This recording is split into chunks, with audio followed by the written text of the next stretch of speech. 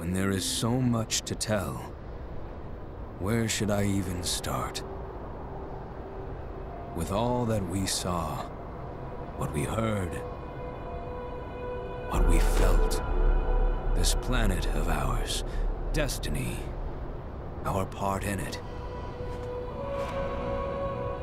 Best to start at the beginning, perhaps.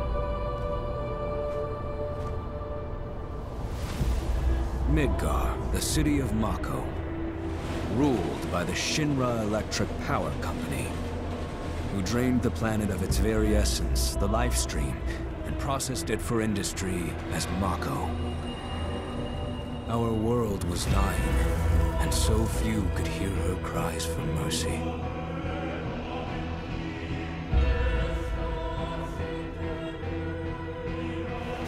Those who could rose up in her defense. The anti-Shinra rebels, Avalanche. Among them, Cloud Strife, an ex-soldier hired by the Resistance to destroy Reactor 1.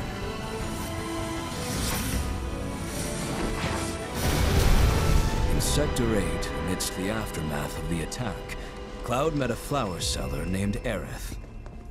She offered him a yellow blossom. One said to symbolize reunion.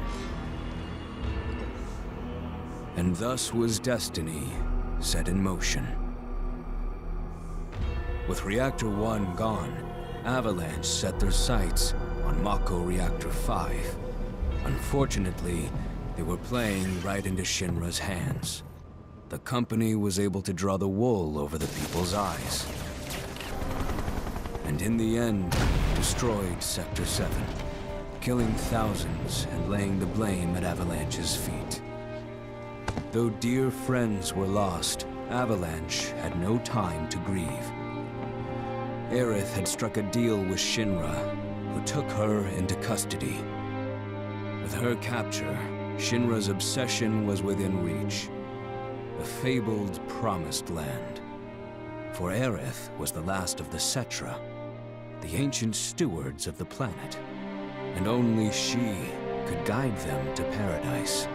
To save her, the team infiltrated the Shinra building, the company's beating heart.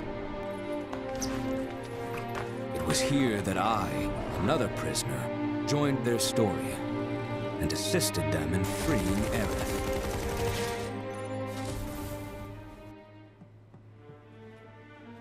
Yet during our flight, we came face to face with a man thought dead. The vaunted war hero, Sephiroth. Before he could be stopped, Cloud's foe fled with the corpse of Jenova, the cataclysm from the stars and the catalyst of our plight.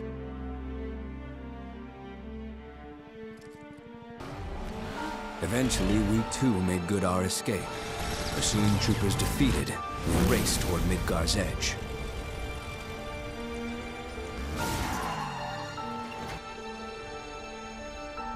Yet Sephiroth once again intervened. Suddenly, deafening screams rent the air. Whispers, the arbiters of fate, descended upon the city.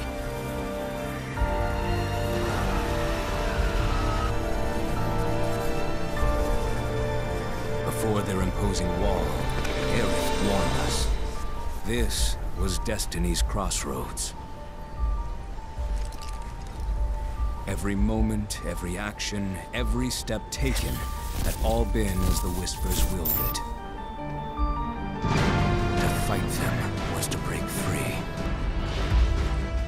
On the other side of fate, Sephiroth waited, the Whispers undulating within him.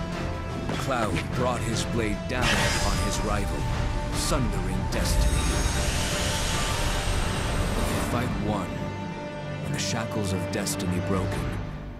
We stood before the unknown, a world of boundless freedom. It was there, beyond where fate could follow, that a new journey began.